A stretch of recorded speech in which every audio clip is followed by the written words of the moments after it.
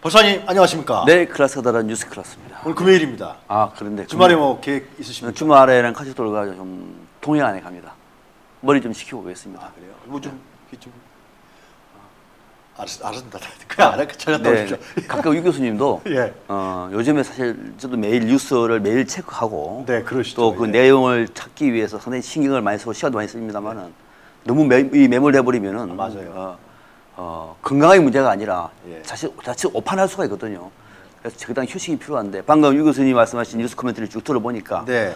아, 오늘 금요일도 우리 시청자분들에게 또 열받게 혈압 오르게 하는 그런 뉴스가 많구나 싶은 생각이 들어서 참 제가 좀. 따라가면 안 될까요? 한 와, 자리 안, 안 아니? 오지 마십시오. 네. 아? 편안하게 가겠습니다. 네. 저 보기 싫죠. 예. 매일 보는데. 오지 마십시오. 주말까지 보기 싫죠. 예. 자, 그건 그렇고. 네네. 아, 이 한일 정상회담이 뭐예요, 도대체? 한일 정상회담이요? 예, 한다 그랬잖아요. 아, 대통령실에서 아까 그랬는데. 제가 혹시라도 싶어가지고 오늘 그 얘기를 할 기회가 있나 싶어가지고 네, 준비를 일본 측은 아니래요. 예 준비를 해왔는데 저도 어제 보면서 야 이거는 너무하다 싶어서 제가 네. 이건 오늘 정식 정식으로 뽑은 주제는 아닙니다만은 그렇죠, 예. 이게 어제 요미 요미우리 신문이 요미우리 9월 15일자 신문에 보도한 내용입니다. 이 내용입니다. 이게 그 지금 일부 신문에 네. 어떤 내용이냐면은 한일 정상회담과 관련해서 예.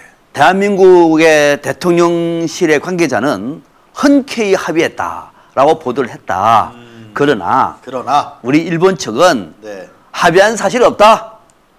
뭐예요, 도대체? 또 강제징용 문제와 관련해서 아직까지도 예. 예. 어, 해법을 한국 정부가 밝히지 않고 있어서 즉 우리 정부는 보고 있다. 어, 그런 환경이 조성이 다 되면은 그때 에, 할 수도 있다. 어, 다만 양측이 다 만난다고 하더라도 짧게 그냥 뭐 얼굴만 볼 정도로 만날 것으로 만날 가능성이 높다. 네. 그렇게 보도했습니다. 야, 이 가해자가. 자, 예, 일본 측에서 이 뉴스를 보는 한국 국민들은 이 정말 이거는 울분에 차서요. 어쩌다가 우리 대한민국이 이- 이렇게 됐습니까? 어쩌다가 이거를 보는 일본 국민들은 한국을 어떻게 보겠습니까? 자, 시청자 여러분, 냉정하게 보십시다. 이거를 보면서 한국이 왜 이렇게 한일 정상회담에 목을 메고 있습니까? 피해자 국가가 이름도 모르고 우리 한국 사람들이 일본에 가가지고 아 일본 경치 좋구나. 아 스시 맛있구나. 뭐 이렇게 시간 보내는 것 자체를 일본 국민들 어떻게 볼까? 저는 낯뜨거워서 부끄러워서 차마 이 뉴스를 보도하지 못했습니다. 열 번 양보해서 열 번 양보해서 우리 정부가 애둘러 발표하고 일본도 사실 합의를 했는데 그냥 언론 발표용으로 흘릴 수도 있어 이런 식으로. 우리는 합의한 적 없다.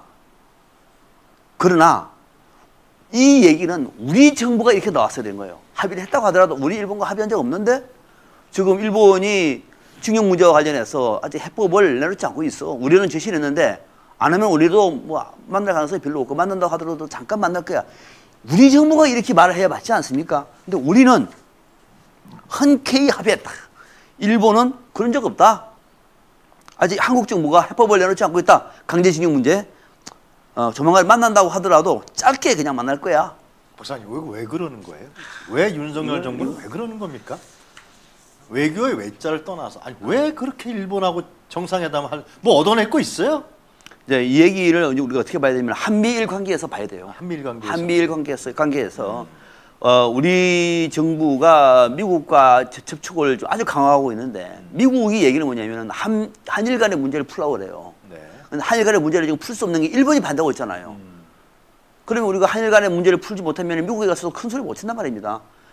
특히 지금 인플레이션 감축법과 관련해서도 골치가 아픈데 어떻게든 한일 정상회담을 통해 가지고 하려고 그러는데 이게 징용 문제가 풀리다 보니까 이- 걸려 있으니까 이러지도 저러지도 못하는 상황에서 우리가 굴신하면서 몸을 낮춰서 일본하고 정상회담을 하려고 하는 의지가 하나 있다. 그 하나고 그러니까 미국한테 두- 잘 보이려고 잘 보이려고 그죠. 미국은 한미일 군사 동맹을 만들어서 아, 중국을. 견제해야 되고. 네, 하려고 그러는데 그런 측면이 제일 큰 것이고 두 번째 문제는 어, 지금 윤석열 정부도 외교 문제와 관련해서 지금 성과가 없어요. 성과. 아, 어, 그렇지. 뒷- 이거를 성과를 만들어서 문재인 정부가 못한 거 드디어 우리 윤석열 정부가 해냈습니다. 아. 한일 정상회담.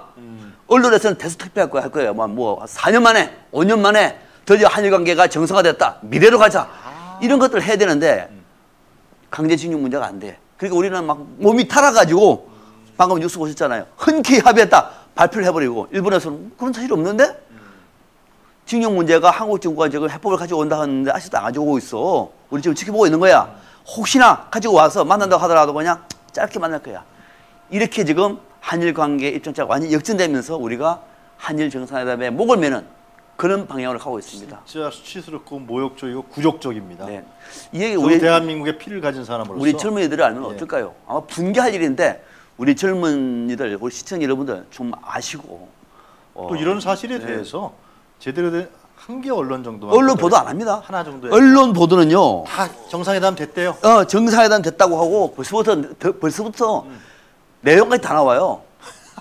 미치겠. 뭐 중형 문제와 관련해서 돈을 얼마나 투자를 하고 아. 해법을 만들었다. 우리 정부의 네. 성과다. 예. 뭐또 한일 관계가 이제는 미래로 간다. 이런 어, 일제 시대도 아니고 식민지 시대도 아니고 해방된 지가 벌써 지금 70년, 80년 다 돼가고 있는 이 대한민국의 언론이 그 모양이고 그런 언론을 보고 우리나라 국민들이 정치에 관심을 갖고 있다고 하면은 이 정치가 어떻게 되느냐? 딱 지금 이렇게 되고 있는 겁니다.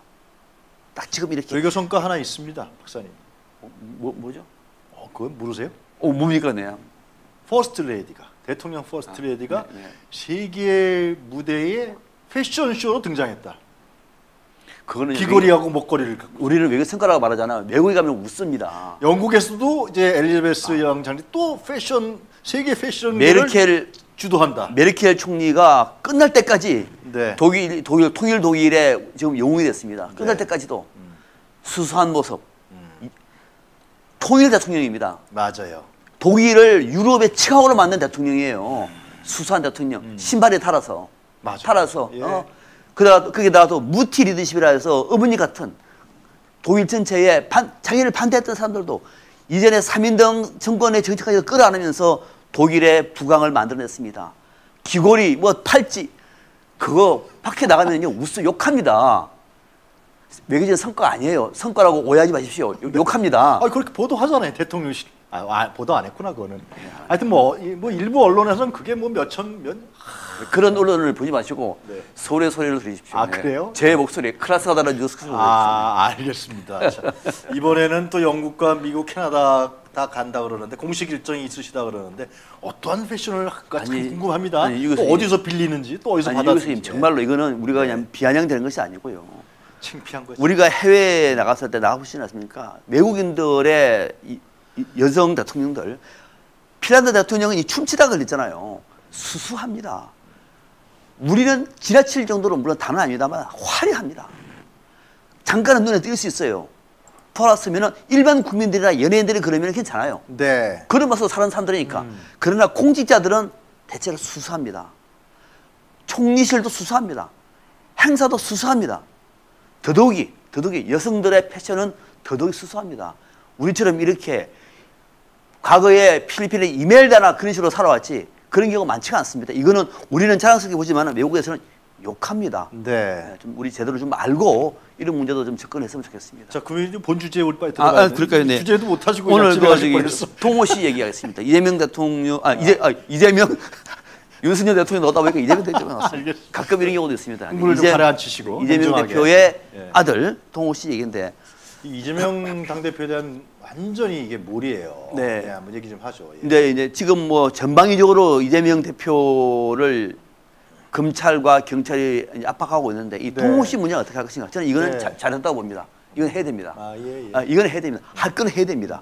그렇게 해야 그렇게 해야 경찰과 검찰이 5년 뒤에 이 문제를 가지고 역풍을 맞지 않습니다.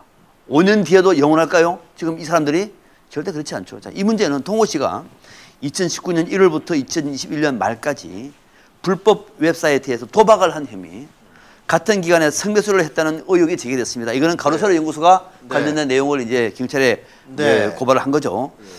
어, 자, 그런데 민주당에서도 대선 기간에 팩트 체크했습니다. 도박한 거 맞다. 네. 그리고 그 외 사이트에서 포카도 쳤다. 네. 그랬고 이재명 대표도 제 아들이 쓴 걸 맞다. 다시는 이런 일이 생기지 않도록 하겠다고 얘기를 했습니다. 음. 네. 그래서 경찰이 지난 어, 어, 며칠 전에 14일 날 음. 소환 조사를 했다는 사실이 드러났습니다. 자, 그런데 이 얘기를 가지고 논의하지 마시고 네. 이 팩트는 이렇게 정의를 하십시오. 팩트가 정의된 겁니다. 네, 그렇죠. 그리고 이것도 민주당이나 이재명 대표도 인정을 합니다. 예. 이거는 법의 문제입니다. 네. 그렇지 않는 문제를 가지고는 야당 탄압이니 또는 이재명 이재명 몰이를 해가지고 우리 정치권을 냉각시키는 일은 해서는 안 된다는 겁니다. 우리 국민들과 어, 지지자들도 이런 상식은 가지고 있다는 얘기죠. 어, 민주당도 이 문제를 아직 가지고 더서는 시비를 걸지 않습니다. 아니 근데 이제 그게 전방위적으로 들어오니까 문제가 그래서 이 문제를 섞어 가지고 동호시 부인, 문제까지도 부인 문제, 아들 문제, 그다음에 이제 쌍방울 문제 다시 또 거론하고 네. 성남 FC 문제 또 거론하고 또 무슨 뭐 허, 공직선거법 위반 같이 거론하니까 네, 네, 네. 이게 이것은 조국이 생각나는 거예요. 네, 그렇죠. 예. 그러니까 이제 이런 문제가 어제 언론에서도 이제 제2의 조국 사태라 그러는데 이거는 네. 불가능한 것이요. 불가능한 것이 왜 불가능해요? 어, 한동훈이 하- 마음 먹으면 되는 거 아니에요? 아, 안 됩니다. 어, 왜, 왜 그러냐면은 일단 조국 사태와 관련해서는 지금의 어, 이재명 대표 조국은 당시에 대선 주자가 아니었습니다. 집권당의 집- 집권당의 인재였습니다. 이재명 같은 경우는 지금 대선 주자의 지금도 1순위 영순위입니다. 머리가 안 되는 거죠. 머리를 하면 할수록 더 판이 커지는 거예요, 이거는. 건드리면 안 된다. 그건 안 되는 것이고. 건드리는 게 바보다. 걔네들 어, 입장에 예, 봤을 예, 때. 그렇죠. 어. 어, 거기다가 어, 지금 그 당시에 문재인 정부는 인기가 좋았습니다. 지금 윤석열 정부는 인기가 없습니다. 예. 이 머리 하다가는 스스로 늪에 빠집니다. 음. 이건 안 됩니다. 거기다가 정치 문제 아니라 경제 문제로 나라가 통째로 무너질 수가 있어요. 이건 하고 싶어도 할, 수가 없어요. 그건 안 된다는 것이고. 더 중요한 것은 지금 여론들은 조국 사태를 겪어오면서 검찰이 어떤 집단지를 이제 압니다. 네. 국민들이 동의하지 않습니다. 20대들도 동의하지 않습니다. 동의할 건 안 하건 간에 하잖아 그냥. 그러니까 그 머리가 실패한다는 얘기죠. 아 실패할 아, 거. 그래서 그런 오판을 하지 말고 마시고 어제 한동훈 장관도 뭐 이 문제와 관련해서 뭐 정치 야당 거대 야당 다수 야당 대표가 아, 뭐 이렇게 한다 그래서 법률 된다 그러는데 법무부 장관이라도 법조인이라도 위법이 있으면은 법의 심판을 받습니다. 얼마 남지 않았습니다. 똑같은 일들이 역풍으로 되돌아갈 가능성 아주 농후합니다. 누구한테요? 아, 한동훈한테도. 한동훈한테? 또 그럴 가능성이 있기 때문에 저 지금 이 문제 가지고 마치 우리가 갑인 것처럼 하는 순간에 언제든지 역풍은 분다. 박사님 말씀 한동훈도 털릴 날이 온다 이거죠? 얼마 남지 않았다는 얘기입니다. 네. 털면 무진장 나올 것 같아. 정말 어. 조국처럼 털면 말이죠. 네. 그렇게 하는 게 뭐 좋은 방법은 아니지만, 네, 아니지만은, 네. 아니지만 네. 하여튼 간에 그래서 법을 믿는 자 법에 의해서 망하고 음. 칼을 믿는 자 칼에 의해서 죽습니다. 그 역사에서 증명한 건 같습니다. 한동훈 장관도 그게 그저 그 부메랑 될 날이 얼마 안 남았. 어, 뭐 지금 뭐그 처갓집들도 등등 하고 또 본인 관련해서도 어뭐 본인이 잘 관리를 하겠으나 네. 하겠으나 검찰이 신발을 거꾸로 신으면 신으면은 한동훈 장관도 알 수 없습니다. 검찰 아, 잘 거꾸로 신어요. 네. 우리 역사에서 아. 바로 바뀌어요. 그럴 그냥. 날 멀지 않았다는 말씀을 드리는 겁니다. 그 시행령으로 한 것도 그 탄핵거리가 되는 거. 아, 그건 조만간 이제 법정 결과가 나옵니다. 아, 그래요? 아, 결과가 아, 예, 아. 아직 안 나왔습니다. 아. 나와서 위법 문제가 있다고 얘기하면 이거는 네. 두말할 필요 없이 탄핵입니다. 탄핵이죠, 그건. 네, 탄핵으로 가는 거죠. 네. 탄핵하고 난다면 이제 헌법재판소가 판단할 문제이기 때문에 헌법재판소가 고민을 할 거예요. 여야 합의가 아니지만은 현행법으로 확실하게 위법이 문제가 나온다고 얘기하면은 헌법재판소가 위법이 나왔는데도 기각시킨다? 그럴 수 없는 거죠. 근데 이제 탄핵을 국회에서 통과시키면 직무정지가 된다. 그래. 네, 네. 그럼 윤석열 정권에 커다란 구멍이 생기는 거야 이게. 헌법재판소에서 최종 결정을 하기 때문에. 아니 그러니까 그 기간 동안에 네, 그렇습니다. 몇 직무 개월, 정지는 3, 4개월 되겠죠 어, 최소한. 네, 네. 그러면 이제 윤석열 정권에 커다란 구멍이 생기는 거지. 이게. 아. 어? 민주당 정치인, 민주당 국회의원들 이게 정치적 감각으로 알 텐데. 아, 지금 할 겁니다. 준비하고 있습니다. 네. 준비하고 있어요? 어, 그럼요. 어떻게 통화해 보셨어요? 어, 통화해 본 것이 아니라 내부의 이른바 그 이게 이, 이 프라시오 이 절차를 보면은 네. 일단은 법적인 판단을 받- 받고 난 다음에 그 얼마 남지 않았으니까 거기서 결과가 나오고 위법 문제가 나온다고 하면 바로 탄핵 절차 들어가는 거죠. 그러면 이제 아까도 제가 말씀드렸습니다만 그 뉴스타파 보도에 그 2차 자, 김건희 김건희는- 2차 작전에도 관여했다라는 그 검사 수사 검찰 수사에서 나왔던 거예요. 네, 그게 네. 공판 과정에 나왔던. 아, 나- 지난번에 예. 나왔습니다, 그 그건. 그건 1차. 네, 이번에 네. 2차. 2차 네. 비 인더스먼트인가 뭐 해갖고. 네, 네. 자 이거는 특검 피할 수 없는 거 아니에요? 근데 특검은 지금은 지금은 조정훈 의원이 비토를 하면은 국회에서 법적인 절차 쉽지가 않아요. 법적인 절차가 아, 그러니까 여론이 집합시되면 그러나 앞으로 1년 뒤에는 민주당이 법사위 위원장을 맡습니다. 그죠? 1년 뒤에는 그때 할 수 있어요. 그때는 정식으로 법사위원들끼리 투표를 해서 내부적으로 결의를 해서 할 수 있습니다. 너무 길어요. 1년 동안 우리 뭐 1년 뒤에는 또 1년 뒤에는 바로 총선 전국이기 때문에 정치적으로 따지면 그때 더 유리합니다. 아 1년 동안 그냥 보라고요 계속해서. 아니, 국회에서 안 되는데 어떻게 해요 그러면은? 아, 되게 만들어야죠. 그럼 지금 조정훈 의원 모시다가 어떻게 됩니까 그러다가? 어, 조정훈 의원도 국회의원 아니에요. 국민들이 압박가하고 특검 하라 그러면 지가 해야지 뭐 계속해서 핑계 댈 거예요. 네, 어제 지난번에 우리 유 교수님은 네. 의- 의원이 막판에 돌아설 것이다 말씀하셨는데 저는 돌아서지 않는다에 저는 그렇습니다. 제, 저는 반대인데 박사님 국회의원은 말이죠 압박할 수밖에 국민의 압박과 국민의 여론에 따라서 움직이게 돼요. 그걸 우리가 2016년 17년에 박근혜 탄핵할 때 명확히 봤잖아요. 네, 그건 교과서적인 얘기입니다. 일부는 그렇지 않습니다. 아니 박사님 그게 왜 교과서입니까? 아니 그 드러난 사실이었는데 국힘에서 그 당시 국힘이죠 새누리당인가 한나라당인가 뭐 하여튼 뭐 뭔당인지 거기서 이탈했잖아요. 이탈해서 탄핵에 찬성했잖아요. 네. 예? 네. 나와서 바른 뭐, 뭐 네, 정당인가 만들었잖아요. 만들었죠. 네. 그 사람들이 박근혜 그 대통령을 탄핵하고 싶었었겠어요? 네. 국민들이 밀어 제끼니까 뭐 탄핵하는 거예요. 네, 네. 난 충분히 난 박 저 좀 누구죠? 조정훈 조정훈 의원 조정훈 의원은 나는 거기에 비하면 나는 음. 바람 앞에 그냥 피, 밀어붙이면 의원 핑계 되겠지 뭐또 민주당에서 뭐 하나 주고 그러면은 알겠습니다 안 네. 되니까 그러기를 바랍니다만은 그럴 가능성이 아니, 별로 아니. 높지 않습니다. 저는 정치에서 그게 그건 역- 진리 아니에요 박사님 진리 아닙니다. 네. 예. 알았어 예. 또 얘기합시다 아, 얘기 김순호 같은 사람이 출세하는 세상입니다. 알겠어요. 교수님 예 상식적으로 교과서로는 김순호는 벌써 매장됐어야 돼요. 알겠어요 아, 벌써 예. 동지들은 죽고 왔습니다. 역사에서 되는- 되는데 예. 지금 오히려 승승장구해서 초대 경찰국장이 되는 나라입니다. 알겠습니다 예. 박사님. 넘어가시죠. 예, 알겠습니다. 또 얘기하자고요 다음에 네, 알겠습니다. 또 나올 테니까. 네, 네, 알겠습니다. 자 주번 주번 치료자 종부세 얘기네. 정부세 얘기다. 이것도 좀또왜 들고 예, 나왔어요? 이거 분노할 문제가 일인데. 있나 보죠? 어제 이 네, 얘기는 어, 이 종부세 얘기가 낡은 주제이기는 합니다만은 네. 어, 고용진 민주당 의원실에서 관련된 네. 내용을 정부를 해서 봤는데 이건 네. 우리 국민들도 또 시청자 여러분들도 꼭 한번 살펴봐야 되겠다 싶어서 제가 주제를 정했습니다. 네. 핵심 내용이 뭐냐면은 네. 어, 얼마 전에 윤석열 정부가 네. 어, 공정시장 가액 비율이라고 한 게 있습니다. 좀 어려운 내용입니다만 네. 이거를 이제 비율을 100%냐 50%냐 해가지고 이것도 곱하기로 해가지고 말 그대로 뒤에 이제 인센티브를 해서 어, 전체적으로 보유세, 재산세 또는 종부세 비율을 높이고 낮추는 그 비율을 말한 네, 거예요. 네. 올해는 100% 해야 되는데 네. 60% 낮췄습니다. 예. 윤석열 정부 낮춰버렸어요. 아. 윤석열 정부의 일관된 정책은 종부세를 낮추는 겁니다. 그죠? 예. 낮췄습니다. 음, 낮췄어요. 낮추고 봤더니 나 주고 봤더니 오! 오. 윤석열 정부의 고위공직자들 차국 이상 어. 590만 원을 아꼈어요. 요거 하나 그냥 통과됐을 뿐인데 590만 원을 아꼈습니다. 자, 내용이 이런 겁니다. 네. 어, 100%를 했다고 하면은 윤석열 정부의 고위공직자 차관급 이상입니다. 네. 이상의 어, 3분의 2가 종부세 대상자라고 그래요. 3분의 2가 대단하다. 대단합니다. 그러니까 돈 있는 또 결국. 국민만 보고서 나간다며? 그러니까 우리나라에 종부세를 내는 사람이 전체적으로 2%밖에 안 돼요. 그 중에서도 윤석열 정부의 고위공직자는 3분의 2가 종부세 대상자입니다. 그들이 이번에 공정시장 가액 비율을 지난 7월에 어, 60%로 낮췄습니다. 그랬더니 올해 종부세를 얼마 아꼈느냐?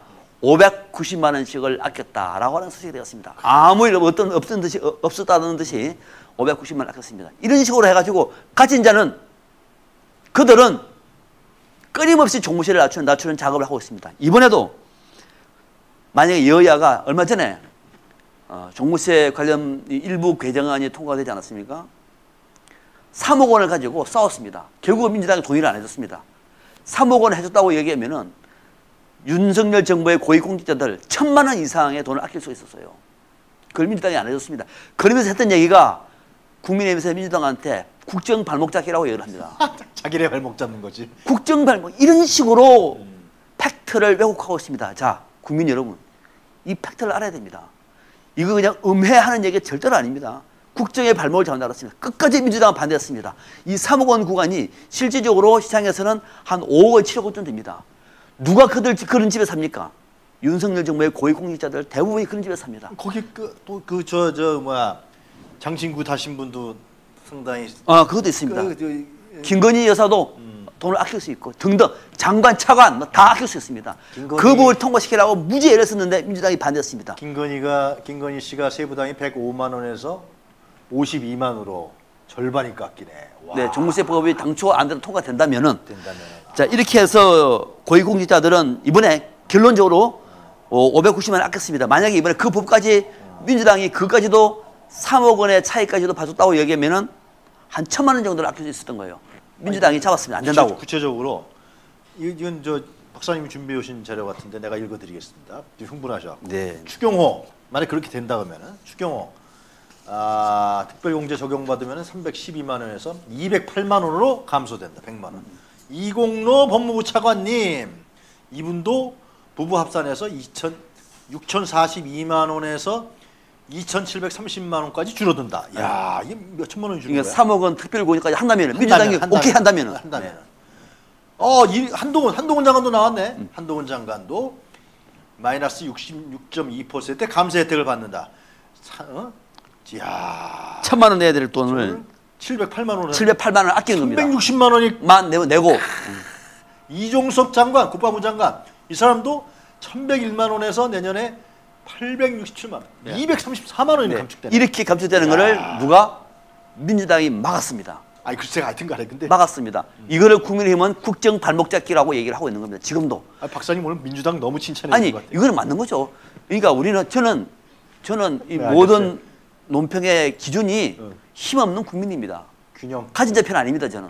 박진 얘기도 박진. 아니. 박진 745만 원에서 만약 그게 통과가 됐다 그러면은 617만 원으로 야, 예. 128만 원. 네. 이 사람들이 이렇게 종부세 인하하려고 하는 의도가 인제 드러난. 드러난 거지, 어, 이게. 그러니까 이거를 어? 가지고 일부 언론에서는 여전히 민주당은 국정 발목 잡기라고 얘기를 하는데 국정의 어, 또 어떤 국정이냐를 봐야 되는데 그 대신에 예. 이런 고위공직자들은 이미 종부세 590만 원, 민주당이 만약에 3억 원 특별 공제까지도 오케이 했다면 천만 원 정도로 벌 수가 있었는데 그걸 민주당이 막았습니다. 아 그런데 민주당 그런데 얘기 그 대신에 우리 서민들한테는 얘기하세요. 아 저는 그 앞으로 막으라는 얘기예요. 아, 알았어요. 예. 이거 아직 결론 난 거 아닙니다. 아, 글쎄요. 예. 이거 추후 협의하기로 했어요. 올해 말까지 협의하기로 했습니다만 민주당한테 계속 하는 얘기가 이거 막아야 된다는 얘기입니다. 그래서 얘기를 한 겁니다. 조금 민주당 지지하면 좀 불편하십니까? 예, 좀 불편해요. 아 그렇습니까? 네 알겠습니다. 우리 민주당 좋아하시니까. 네. 자 그런데 우리 서민들은 어떻게 되느냐? 네. 전기요금 인상, 그게 중요한 거예요, 지금. 택시비 인상, 가스요금 인상, 빵값 인상, 과자값 인상, 어제 라면값 인상, 줄줄이 인상을 대기하고 있습니다. 부자들은 공정가액 비율을 인하하면서 몇백만 원, 오백만 원, 육백만 원, 그 집까지 사람들이 큰 좋은 집 갖고 있는 사람들이 이렇게 혜택을 보고 일반 국민들한테는 전기요금, 택시비, 가스요금, 라면, 과자, 빵, 떡 이것이 공정이고 정의라고 하면은 우리는 이 시대는 끝난 거라고 저는 생각합니다. 그래서 어, 좀 강한 목소리로 이거는 아니다. 그러나 불행하게도 윤석열 정부 5년 동안은 이런 기조는 막기가 쉽지는 않겠다. 그래서 서민들은 각자 도생을 준비할 수밖에 없다라고 하는 것이 저의 결론입니다. 그 사람들은 라면값 올라가 봐야. 가스값 올라가야. 뭐, 눈 깜짝 안 할 사람들은. 아무 상관도 없어요. 그죠? 네, 네. 예? 근데 우리 서민들은 라면값 10% 올라버리면 어떻게 됩니까? 네. 자, 그래 놓고 또 종부세는 인하시켜주고 주식 양도세도 또 뭐 1년 동안 뭐 그러면서 윤석열 대통령은 도어스태핑인지 몬태핑에서 맨날 나와서 국민만 보고 나가겠다 그러고 지금 윤석열 정부 기조가 약자와의 동행인 거 아시죠? 뭔, 약자와의 동행이라고 하면 동행. 심지어는 그래요? 심지어는 어, 윤석열 정부의 국정 운영 기조가 부자 감세인데 왜 부자 감세라고 하는 프레임을 씌우느냐? 음. 감세면 감세지. 또 이런 말도 있어요. 야, 참 이렇게 예? 이준석이가 뭐 얘기했던 거 사자성어를 내가 다시 쓰고 싶은데 양도구역요. 네, 뭐 알았어요, 됐어요. 네, 그건 많이 아는데.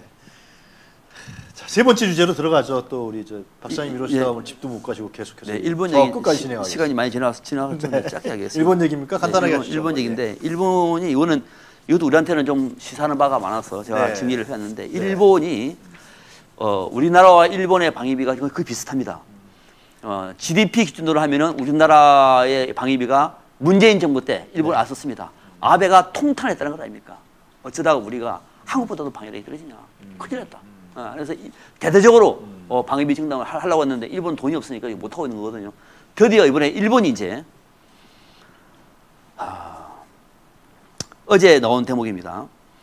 공격형 무인기를 도입을 합니다. 야, 무서운 얘기다. 자, 공격형 무인기. 공격형입니다. 지금까지 일본은 무인기는 정보만 활용했습니다. 공격형 무인기. 그것도 미국산 스위치 블레이드라고 합니다. 이거는 작은 겁니다. 이거는. 그 다음에 이스라엘산 하롭, 하롭이라고 하는 어, 공격형 무인기를 합니다. 이 무인기는 폭탄을 싣고 저거로 뛰어드는 겁니다. 그래서 터지는 겁니다. 이게. 그러니까 이 하롭만 하더라도 이거는 좀 규모가 큽니다. 네. 아, 한 2, 2m가 넘어요. 비행기가. 그 다음에 미국의 스위치 블레이드는 작습니다. 이거 한, 한 30cm, 40cm밖에 안 돼요. 작습니다. 네. 작, 작으니까 오래 뜨지를 못해요. 어, 그런데 이 하롭은 9시간 뜹니다. 네. 일본에서 발사하면은 한국까지 넘어옵니다. 한국까지 넘어와요. 폭탄 싣고 들어오면은 이거를 내년에 어, 예비적으로 배치를 하겠다. 발표를 했습니다. 일본은 이렇게 신시대에 맞는 새로운 시대에 맞는 공격형 무인기라든지 에, 또는 어, 전투기라든지 에, 또는 갈- 관련되어 있는 이 군사 장비를 재첨단하는데 총력을 쏟고 있습니다. 전체적인 규모가 적으니까 우리나라도 국방과 관련된 예산. 아, 이게 병장 월급 200만 원. 자, 이게- 국민 여러분, 이게 국방 정책의 기조에 맞습니까? 이거는 아, 네. 한국 정부가 공식적으로 항의해야 될 사실이에요. 이거는 한반도가요. 완전 긴장과 대립과 갈등으로 몰아넣는 과거의 일본 제국주의의 모습을 다시 볼 응? 가능성도 있는 거야. 중국에서도 경, 경계할 테고 이게 하, 하여튼 참 우리가 이- 아, 하여튼 뭐 일본 얘기는 그런데, 그런데- 한일 정상 해달라고 해달라고 그, 런데 했다고. 어. 그런데 이걸 중요한 거는 이렇게 얘기하니까 네. 방금 말씀하신 한국 정부가 강하게 이제 반대하고 우리가 대응을 해야 될 텐데 우리 언론이 어떻게 보- 보도하는지 아십니까? 이번에 일본이 주문하고 있는 공격형 무인기는 네. 대만과 중국을 견제하기 위한 것이다. 일본이 써준 그대로 적었습니다. 진짜 그럴까요? 네, 진짜. 아니 공격형 헬 공, 공격형 무인기가 한국에는 안 온답니까? 한국에는 못 넘어옵니까? 대만보다도 한국이 훨씬 더 가깝습니다. 어느 순간에 독도로 갈 수도 있습니다. 어떻게 우리 언론은 일본이 써준 그대로 그렇게 쓰십니까? 조금만 공부하면은 이렇게 일본에서 나오는 언론 다 있는데 우리 국민들을 호도하는 일부 언론들 우리 정부는 관심도 없어요. 논평도 아직 안 나왔습니다. 오늘 나오는 일찍 보겠습니다. 논평도 없습니다. 이것이 논평 못 내. 그러다가 한일 정상회담 취소되면 어떡해. 아. 덜덜덜 떨고 있어 지금. 아, 한국 정부에서 우리 뭐 공격형 무인기 가지고 시비를 걸어서 안 된다. 그렇지. 봐서 네, 감히 니네들이 말이야. 집에 가겠습니다. 이제. 언제 한번 예. 언제 한번 그저 일본 특집 한번 합시다. 아. 박사님 모아갖고 여태까지 윤석열 정부에서 한일 관계에서 어떤 일이 있었는지 네. 날짜별로 쫙 무슨 발언이 있어야 한번 특집 한번 하자고요. 알겠습니다. 이- 이러다가 이제 오늘 금요일인데 빨리 도- 내일 동해안 가신다고. 아, 그러니까. 알겠습니다. 네. 자 보내드리겠습니다. 자, 자, 들어가시고요. 다음 주에 뵙겠습니다. 네, 감사합니다. 네. 조심 백은종 그 투쟁의 기록 개벽이 출간되었습니다. 윤석열의 등장을 예언한 채 개벽 검찰 공화국을 막아라 무소불위의 검찰을 그동안 아무도 건드리지 못했다. 검찰을 손볼 세력이 어디에도 없었기 때문이다. 하지만 뛰는 검찰에 나는 국민이 있다. 전두환 군부 독재와 이명박근혜 정권마저 붕괴시킨 촛불 시민들이 그따위 검찰 출신 나부랭이들의 폭거에 굴하겠는가? 위기의 대한민국 윤석열 검찰공화국에 맞서 싸울 촛불 시민들의 투쟁의 지침서 조심 백은종 국가와 민족을 위한 그 투쟁의 기록 개벽 여러분의 지지와 성원을 기다립니다. 감사합니다.